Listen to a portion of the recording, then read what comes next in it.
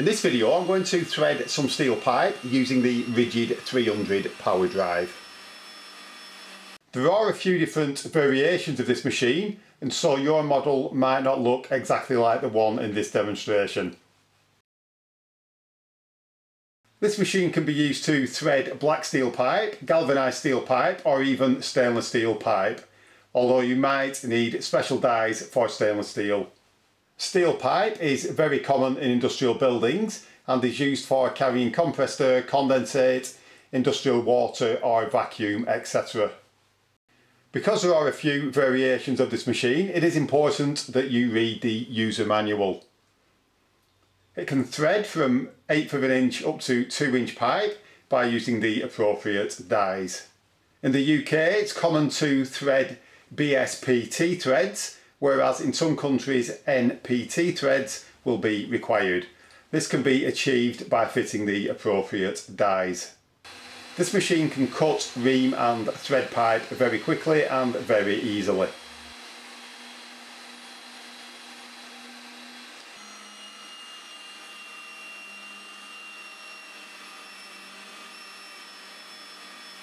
Before we do anything, I'm just going to point out a few of the parts. At the rear of the machine we have the rear centering device. At the front we have the speed grip chuck. We then have the pipe cutter, the quick opening die head, the reamer, the carriage lever, the foot switch, the oil tray, the clamp lever, the throwout lever, the forwards and reverse switch. Normally with this machine the switch is either off or in the forwards position. With some threading machines you have to reverse the dies off the pipe after threading but with the quick opening die head you do not need to do this. All the operations in this video are being carried out with the switch in the forwards position. After selecting forwards, you also need to press the foot switch before the machine will rotate. It's absolutely critical that plenty of oil is applied when cutting the threads on this machine. Luckily this model has a built-in oiler which applies lots of oil to the dies when the machine is rotating. It is important to wear safety glasses on this machine but never wear gloves. If you are threading long pieces of pipe, it is essential to use a pipe stand. Normally pipe like this comes in 6 metre lengths.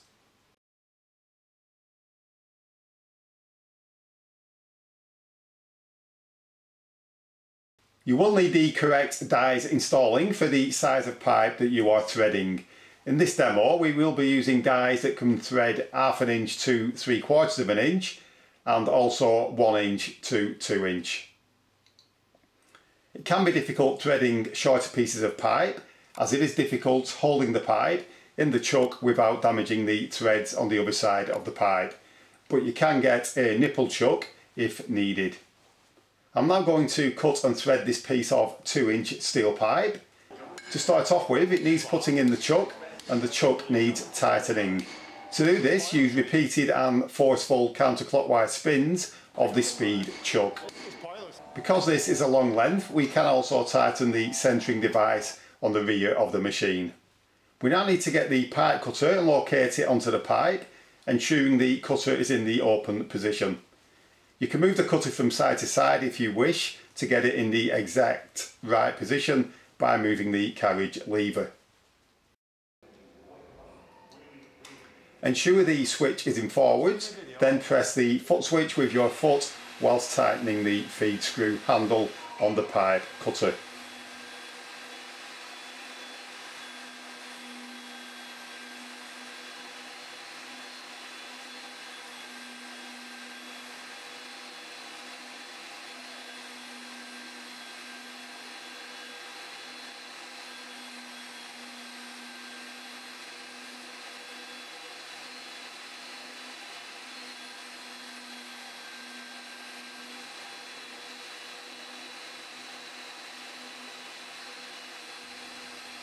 Eventually the pipe will be cut and will drop into the tray. The pipe cutter can now be lifted out of the way and the pipe can be reamed. To do this, pull down the reamer and flick up the reamer latch and slide the reamer forwards until the latch engages. Forcefully move the reamer into the pipe using the carriage lever for a couple of rotations. Then lift the reamer latch and pull it back, then move it out of the way. Now we are going to cut the thread using the quick opening die head, which has the 1 to 2 inch dies already installed. Ensure that the die head is in the closed position with the throwout lever facing down towards you. Press the foot switch, then use the carriage lever to force the die head onto the pipe. This can require a bit of force to get it started. Once the dies have started to cut a thread, you can let go of the carriage lever as the dies will pull themselves onto the pipe. You can get self-opening die heads, but on this machine you have to manually open the die head. This can be done as soon as the pipe hits the back of the dies. As soon as you see the pipe through the back of the dies, you need to open the throw out lever quickly. You can then remove your foot from the foot switch. When cutting the threads, it's a good idea to do it in one operation without stopping.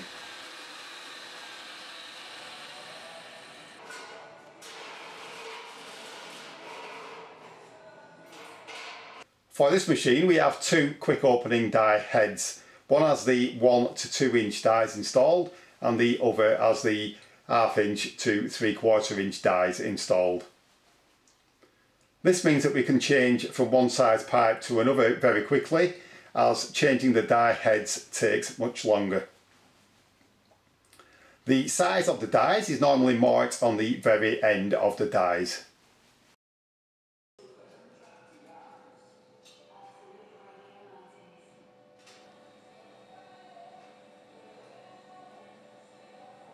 On the die head there is a size bar and on the throwout lever there is an index line. Here I'm threading 2 inch pipe and so the index line is aligned with the 2 inch mark on the size bar. Sometimes the dies get worn and so it's necessary to compensate for this and so you can set the dies to undercut or overcut by setting the index line above or below the 2 inch mark on the size bar. I'm now going to thread this piece of half inch pipe. So again, I'm going to ream it first, then thread it, this time using the other die head with the half inch to three quarter inch dies installed.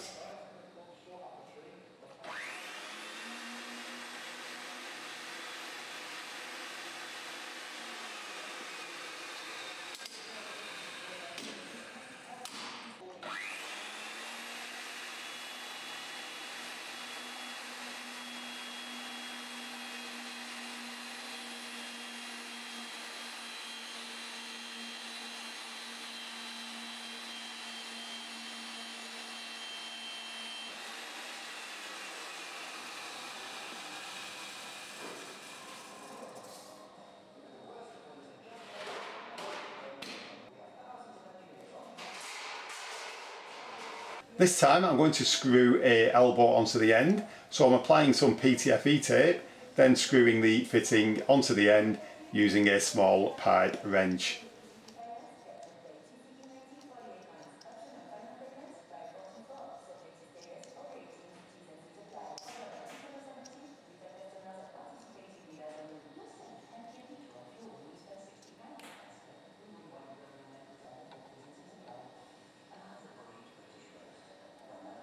Be aware that you can only apply fittings this way if the workpiece can be removed from the front of the machine or if the fitting is small enough to fit through the chuck.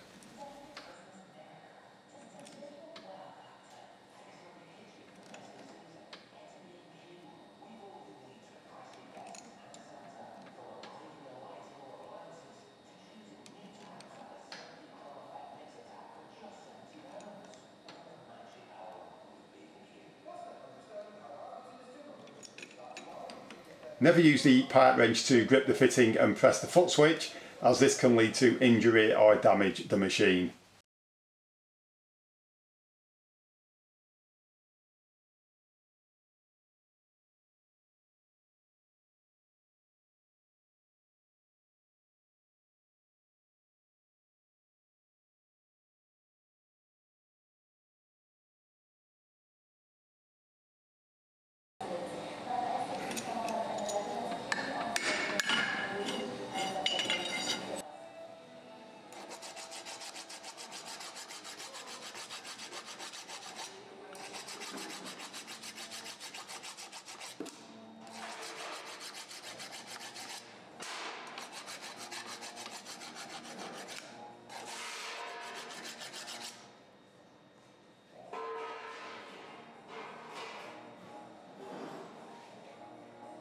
If you're using a vise to assemble the threaded parts, you really need to use a pipe vise or a chain vise as it is almost impossible to grip pipe in a normal vise and get the fitting tight enough.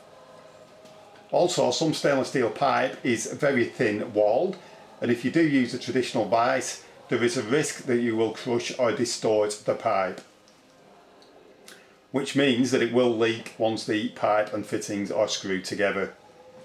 You can of course thread pipe using a manual threader but that will be covered in another video.